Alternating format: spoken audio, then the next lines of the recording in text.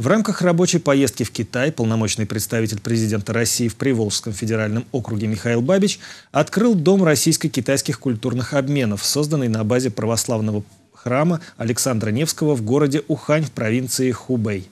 Событие уникально. Открытие православного храма произошло в Китае впервые за многие годы. Здание храмового комплекса китайская сторона предполагалась снести в связи со строительством тоннеля под рекой Янцзы.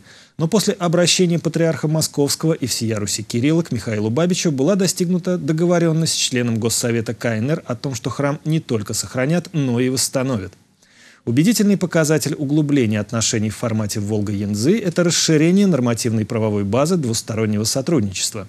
Полномочный представитель президента России в Приволжском федеральном округе отметил, что с момента образования формата между регионами подписано 22 рамочных соглашения о сотрудничестве. Еще четыре проекта соглашений находятся в высокой степени готовности. Поступательно развивается сотрудничество в торгово-экономической сфере. Реализован или находится в стадии практической реализации сторон 21 инвестиционный проект. 83 проекта прорабатываются. Также одним из важнейших направлений совместной работы двух стран является проведение молодежных форумов, отметил Михаил Бабич. Эти проекты реализуются в различных сферах а, экономики, машиностроения, автомобилестроения, станкостроения, э, нефтехимия, агропромышленный комплекс – 78 э, проектов реализуется э, в стадии э, гуманитарного сотрудничества.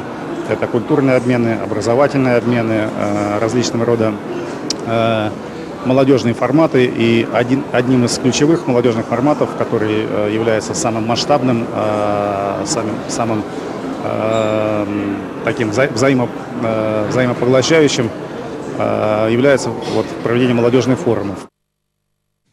Цветы жизни под чуткой опекой Роспотребнадзора.